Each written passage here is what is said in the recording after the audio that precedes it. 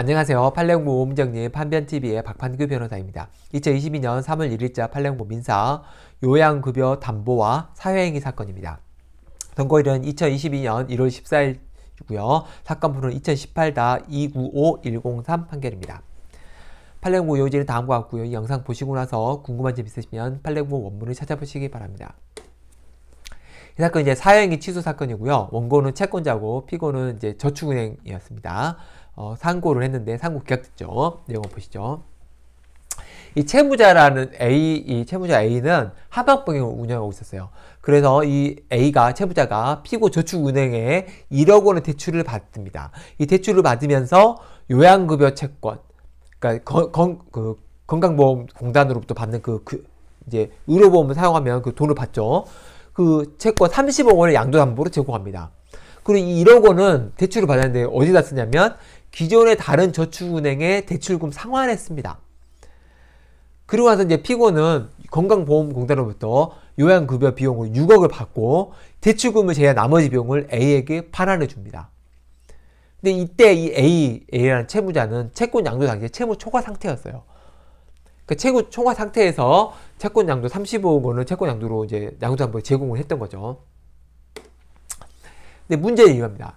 자금을 융통하여 사업 추진 목적의 처분 행위가 사행위가 안 되는 경우가 있다. 그런 경우 있어요.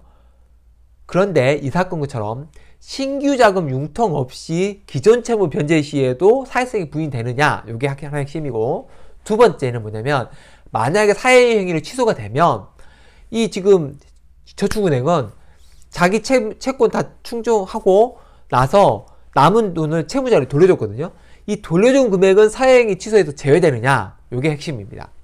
대법원은 뭐라고 하냐면 요양병원이 요양급여 담보로 자금 융통은 유효 적절한 수상이 될 수는 있다. 오케이. 사행이 아닐 수 있다. 그러나 변제 능력 향상이 없이 기존 대출금의 변제만을 목적으로 한다거나 지나치게 거액의 담보 제공을 한 경우에는 사행위가 인정이 된다. 그래서 이 사건은 실제 자금 융통도 없고 기존 채무 변제 목적이기 때문에 사행위 인정된다. 두 번째, 채, 채무자에게 반환한 돈. 그러니까 내가 건강보험을 골로 받았는데 너무 많이 받았어. 그래서 남은 돈은 채무자에 돌려줬어요. 그래도 가액 범위 취소되는 거는 돌려준 돈은 가만 안 한다. 그래서 받은 돈 6억 전체에 대해서 가액 발탕해야 됩니다. 결국은 저축은행은 돌려줬는데 그거 필요 없이 받은 돈 전액에 대해서 가액 배상 취소가 됐고 그거에 대해서 원고한테 줘야 되는 거죠. 그러니까 엄청 손해 보는 거죠. 그, 그래서 어쨌든 이거 잘 보셔야 됩니다. 채권 양도 담보로 받아가지고 일부 변제 받아서 자기 채무 채무에 그, 추, 그 변제하고 나머지 돈 채무자에게 돌려줘도 사행이 취소가 돼버리면 전체 금액이 다 취소돼서 채권자한테 물어줘야 됩니다. 이거 꼭 기억해 주신 게 좋습니다. 결국 실무에서는 요양급여 담보로 대출 실행할 경우에 사행이 되는지 잘 봐야 됩니다.